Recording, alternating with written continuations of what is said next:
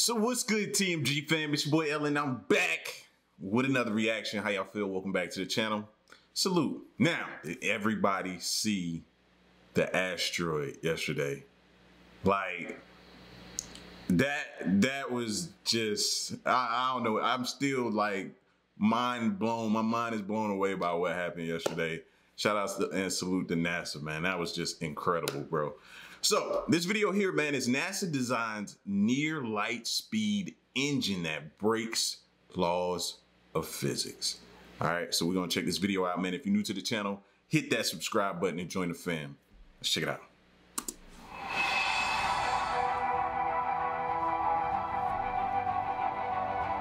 The planet Earth isn't going to be habitable forever.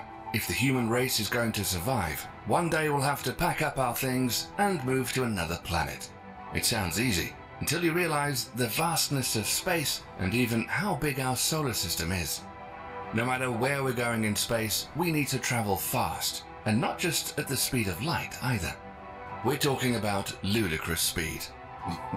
but some researchers have designed an impossible engine that violates the laws of physics. And another group of scientists are now saying a warp drive is possible. Is NASA really working on this technology? And what does the future hold for space travel? Not only is is NASA working on that, who's gonna be brave enough to step inside of there first? That's what you know what I mean. I'm anxious to see, bro. Like this ain't like buying a, a, new PS5 or Xbox One and you buying it first and dealing with the kinks. No, this is different.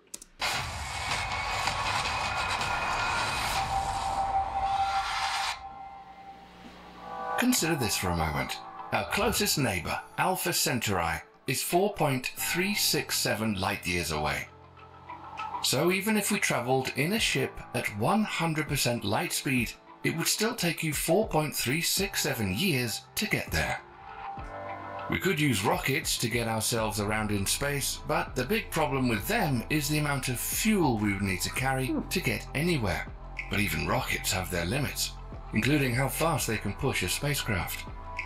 We're going to need something that can generate some serious thrust and be able to do so without carrying a large amount of fuel, because in space there are no gas stations.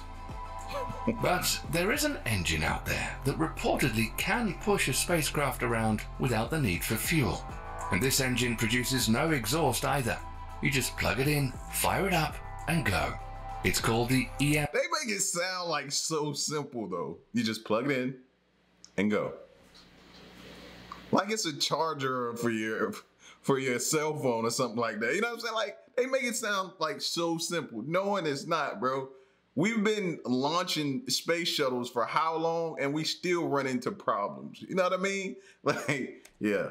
M drive or impossible engine because it claims it can do the impossible.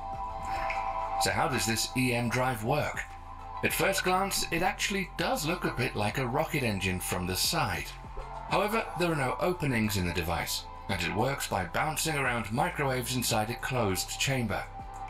That bouncing around of microwaves in the chamber is supposed to create a push, so to speak.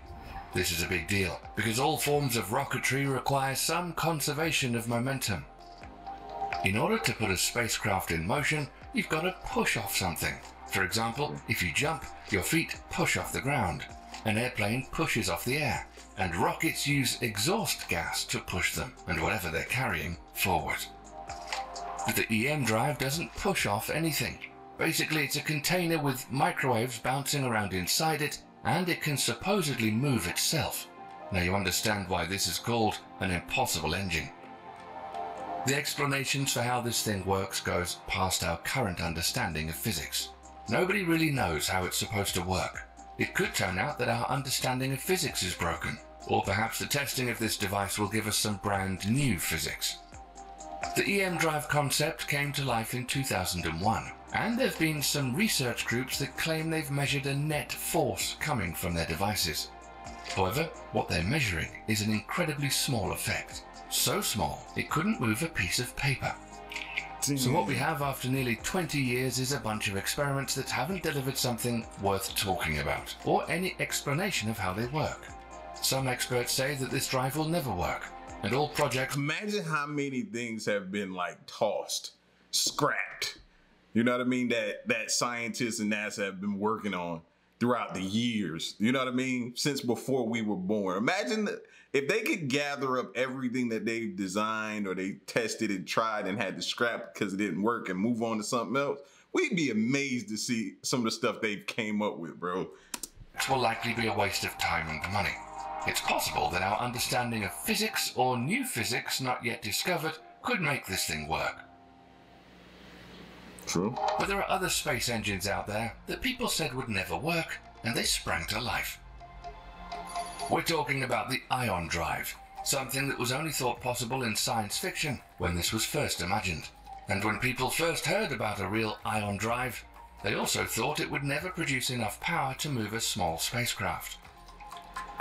But the ion drive really does work. And in 2016, NASA awarded the California based company Aerojet Rocketdyne $67 million to design, build, and test an advanced and super efficient solar electric propulsion system, or SEP for short.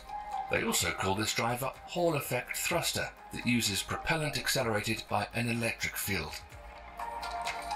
The ion drive works first by converting solar power to electricity. That electricity is used to accelerate ions out of a nozzle, which in turn mm. generates thrust. It turns out that engineers have been developing SEP technology for more than half a century, and there are ion thrusters on multiple spacecraft, including NASA's Dawn probe, which is now orbiting the dwarf planet Ceres. There are plans to use the SEP drive for missions to Mars, but the issue with the ion drive is that it transfers a very small amount of momentum to the spacecraft, but while ion drives are slow, they're among the most fuel efficient of all spacecraft propulsion methods. Right now, NASA is using a high power electric propulsion system for the Lunar Gateway, an outpost that will orbit the Moon. In April 2021, NASA fired up the ion thruster system, which is about 30% more powerful than previous designs. Wow. But NASA started to look at another means of getting spacecraft quickly to their destination nuclear pulse propulsion. Around the same time that nuclear jet engines were being developed for bombers, there's been some interest in using nuclear reactors to power spacecraft. What? It's just the word nuclear for me that just it just ah, it just makes me cringe every time I hear it. Ah, that that would be nerve wracking as well to get on something that's nuclear powered. The thing is that they can survive the cold, dark regions of space without requiring any sunlight, and they're also reliable. The Zeus reactor is designed to last 10 to 12 years, and it could propel spacecraft to other planets in less time. But there are some problems with this propulsion system too. Only fuel like highly enriched uranium can withstand the nuclear reactor's extremely high temperatures, and that doesn't make them safe to use. But there is another blow to this type of propulsion system. You think? system because the US recently prohibited the use of highly enriched uranium to propel objects in space if another safe means was possible. Right now, Russia is planning to launch a nuclear powered spacecraft that will travel from the Moon, Venus, and then to Jupiter. Roscosmos said that its space tug will launch in 2030. The energy module that will power this spacecraft is called Zeus, basically a mobile nuclear power plant, and is designed to produce enough power to push heavy cargo through space. Right now, it would take more than three years to make a round trip visit to Mars but NASA figures that a nuclear powered spacecraft can cut a year off that time. Now NASA wants to integrate a 10 kilowatt nuclear power plant with a lunar lander and put it on the moon as early as 2027. The USA has never put a nuclear reactor into space, but Russia has put more than 30 reactors in space so far, and Zeus will use a 500 kilowatt nuclear reactor to jump from planet to planet. Advances in nuclear technology, such as nuclear fusion, may well change everything, but some say we're still far away, and propellant powered rockets are the best we have at the moment. Propulsion of any spacecraft usually requires some sort of propellant, but there are other methods that use only the sun itself. Solar sails have been in development for many years now, but now that technology is advancing, spacecraft powered by the sun are fast becoming a reality. In 2019, SpaceX launched the LightSail 2 using the SpaceX Falcon Heavy. The $7 million LightSail 2 is 344 square feet in size and has sails made of tear-resistant mylar. When radiation pressure from the sun hits this material, it creates pressure which moves the spacecraft. So how fast can it go? That depends on how much sunlight is hitting the sails, and if the craft is far away from a star, it's going to move much slower. But what about warp drive technology? Just because you've heard that warp drive would be impossible to design and create doesn't mean it won't happen. I and I know y'all think about it like I do, like maybe like a roller coaster, and your your soon as it takes off, your back hits the, you know what I mean, the the seat, and you're just like, imagine that. But they got to get that under control plus more. Like, that's a lot. In fact, scientists have just recently announced that a physical warp drive is now possible. Yes, seriously. In the new paper, researchers say that they've nailed down a physical model for a warp drive. Many have said the technology is impossible because it would require a huge amount of exotic negative forces. We all know the term warp drive comes from the famous science fiction series Star Trek. The Federation's faster than light speed warp drive works by colliding matter and antimatter, which produces explosive power. But what about warp drives in reality? Our current understanding of the warp drive comes from the now iconic theoretical physicist named Miguel Alcubierre. This drive conforms to Einstein's theory of general relativity to achieve superluminal travel by a local expansion of spacetime behind the spaceship and an opposite contraction in front of it. But the Alcubierre drive would need a ton of energy, probably more. And that's barring everything goes as planned. You know what I mean? You always have to keep that in the back of your mind. Like everything has to go right for this to work. Right. Any issues or malfunctions or problems, then what does that mean for the people inside? More than what's available in the entire universe in order to contract and twist space-time in front of it and create a bubble. If you were an astronaut inside that spaceship with the bubble around it, you wouldn't feel any acceleration. NASA has actually been trying to build a physical warp drive for the last decade, but hasn't made much progress yet. But this brings us to the new study. Scientists at the Advanced Propulsion Laboratory at Applied Physics unveiled the world's first model for a physical warp drive, where the existing model uses negative energy or exotic matter that doesn't exist or is impossible to generate with our current understanding of physics.